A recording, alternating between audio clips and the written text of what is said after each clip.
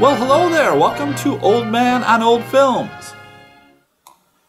You see, I'm an old man and I like old films.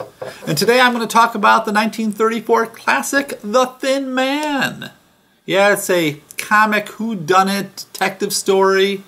But for me, the murder mystery part of this movie is not important. What makes this film fantastic is the two main characters, Nick and Nora Charles. Now, they're a couple who love their booze and their dog more than anything else. Nick Charles is played by William Powell, and he's a ex-private detective who gave up crime solving when he married rich socialite Nora, who's played by Myrna Loy. The two spend most of their time cheerfully getting drunk, and then they get drawn into a murder mystery. Now, is it me or does William Powell sort of seem drunk in every film he's in? Maybe that's just his carefree acting style, huh? Anyway, it's the banter and witty dialogue between Powell and Myrna Loy that makes this such a wonderful film. Powell and Loy had had such great chemistry that they made five other Thin Man films together as well as nine other films. Now, the film is based on a book of the same name by Dashiell Hammett, and I have no idea if that book had comedy in it. I've never read it. The husband and wife team of Albert Hackett and Frances Goodrich wrote the screenplay, and perhaps they added all that witty dialogue in there, though I heard there was a lot of improvisation on, on set. It was directed by a man named W.S. Van Dyke, and I heard it was filmed at a breakneck pace. Now, the film ends with the classic gathering all the suspects in a room. In this case, they all have dinner together. And the detective, Nick Charles, revealing the plot as well as the killer. I don't know if it was that of a cliched thing back then. Perhaps it was. I don't know. I wasn't alive back then. The thing is, the thing that I like about this film too is it's a pre-code film, which means they could get away with a, a little bit more witty dialogue.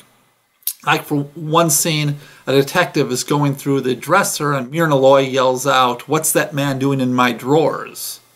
Mild, but not for 1934. Later on, Nora says, I read that you were shot five times in the tabloids. Which Nick replies, That's not true. They didn't come anywhere near my tabloids. Come on, laugh a little. The thing that makes this film so wonderful is the interplay between Powell and Loy. They seem so natural together, like they're not acting. But I think that way of everything I see Myrna Loy in. She just seems to, I don't know. It's hard to explain. She just has this weird quality.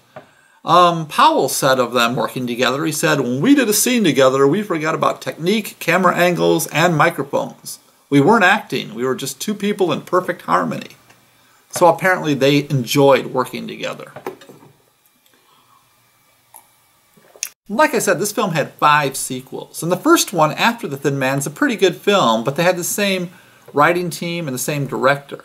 And I think they all came back for the third film, the second sequel, but after that, I think they had a different writing team and a different director, and they really go downhill fast.